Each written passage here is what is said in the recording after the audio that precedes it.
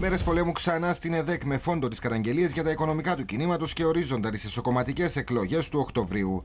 Αφορμή αυτή τη φορά οι επιταγές που εξέδωσε ο τέος γραμματέας οικονομικών του κόμματος Γιώργος Κουτσούκη για προσωπικές επιχειρηματικές δραστηριότητες. Όπως διεφάνει από τον εσωτερικό έλεγχο, τα χρήματα αυτά περί τις 30.000 ευρώ επεστράφησαν με επιταγή που εκδόθηκε τον περασμένο Μάρτι, πλην όμως εξαργυρώθηκε τον Ιούνιο.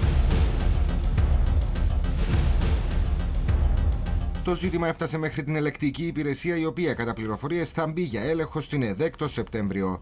Ήδη ο Οδυσσέας Μιχαηλίδης απέστειλε επιστολή προς τον Μαρινό Σιζόπουλο ζητώντας εξηγήσεις. Απαντώντας, ο πρόεδρος της ΕΔΕΚ προέβησε αναλυτική καταγραφή των γεγονότων όπως αυτά υπόθηκαν στη συνεδρίαση του πολιτικού γραφείου του κινήματος πριν από μια εβδομάδα. Εξηγήσεις που δεν έπεισαν μέλη του κόμματος τα οποία κατηγορούν τον Μαρίνο Σιζόπουλο. Όταν και εφόσον ένα σκάνδαλο, γιατί δεν μπορεί να χαρακτηριστεί διαφορετικά, είδε το φως της δημοσιότητας. Δεν κατανοώ γιατί ο πρόεδρος του κινήματος θα έπρεπε να προχωρήσει ουσιαστικά στην παραποίηση μιας απόφασης του πολιτικού γραφείου. Δεν γίνεται κατανοητή προσπάθεια από πλευράς του Προέδρου συγκάλυψης του συγκεκριμένου γεγονότος. Το στρατόπεδο Σιζόπουλου δεν θέλει να τοποθετηθεί δημοσίως, μόλον ότι οι πηγές απορρίπτουν κατηγορηματικά τα περί συγκάλυψης, απαντώντας πως όλα τα στοιχεία δόθηκαν στα αρμόδια συλλογικά όργανα του κόμματος και πως δεν υπάρχει κάτι μεμπτόν εφόσον τα χρήματα επεστράφησαν. Μάλιστα υποστηρίζουν πως για την πράξη είχε ενημερωθεί εκ των προτέρων ελεκτής του κόμματος από τον ίδιο τον Γραμματέα Οικονομικών. Τα ίδια άτομα εντάσσουν τις αντιδράσεις σε προσπάθεια διάσπασης του κόμματος σε επαγγελματικές αντιζηλίες και προσωπικές ατζέντες.